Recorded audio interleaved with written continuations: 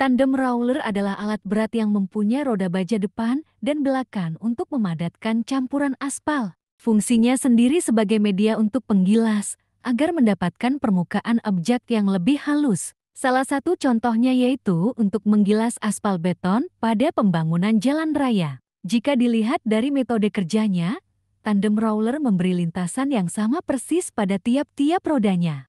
Tandem roller alat berat ini terdapat dua macam yaitu two axle tandem roller dengan dua as dan three axle tandem roller dengan tiga as.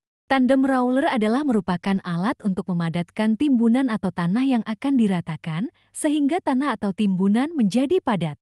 Misalnya untuk pekerjaan penggilasan aspal beton agar diperoleh hasil akhir permukaan yang rata. Alat ini memberikan lintasan yang sama pada masing-masing rodanya dan beratnya antara 8-14 ton dan apabila diinginkan dapat diisi dengan air, sehingga akan menambah berat 25-60. Jenis lain dari smooth steel roller adalah tandem rollers yang terdiri atas berporos 2 two axle dan berporos 3 three axle tandem rollers. Penggunaan dari penggilas ini umumnya untuk mendapatkan permukaan yang agak halus. Tandem roller ini memberikan lintasan yang sama pada masing-masing rodanya, beratnya antara 8-14 ton. Sebaiknya tandem roller jangan digunakan untuk menggilas batu-batuan yang keras dan tajam, karena akan merusak roda-roda penggilasnya.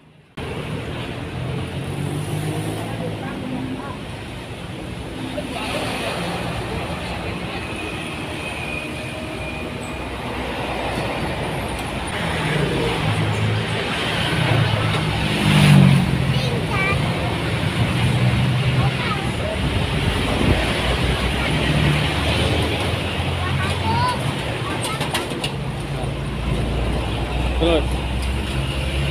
Pegang, pegang, pegang, pegang. Pegang, ah, pegang. Turun.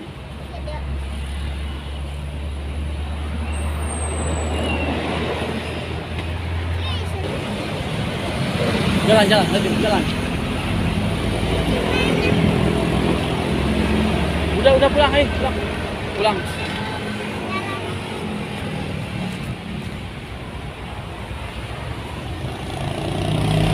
Eh Salim, Salim. Salim. Salim.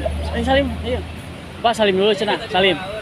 Salim, Salim, Salim, Salim. Terima kasih. Bilang terima kasih. Terima kasih dulu ya. Ayo. Eh. Terima kasih.